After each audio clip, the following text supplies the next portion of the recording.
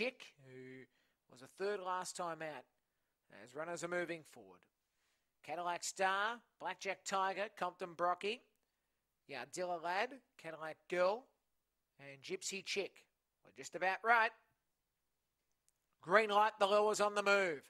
Race 12, the ProGreyhoundTips.com stake, 400 the trip racing. And Cadillac Star got out okay. Cadillac Girl, very good speed. And Cadillac Girl went to the lead from Gypsy Chick, though Gypsy Chick will lead. In third position, Yardilla Lad, Cadillac Star, Blackjack Tiger, and Compton Brocky. Around the corner, it's Gypsy Chick leading by two and a bit. Yardilla Lad, Cadillac Girl around the corner. Gypsy Chick still leading. Yardilla Lad's coming up on the inside. Yardilla Lad may have just got their photo. Yardilla Lad or Gypsy Chick. Third will be Cadillac Star, followed next by Black Jack Tiger with Cadillac Girl and Compton Brocky. It's a photo. Oh, if you're going to make me salute, I think the 10's got there. I think Yardilla Lad's got there. I really do. I, it's going to be a photo. It has really pounced hard at the line.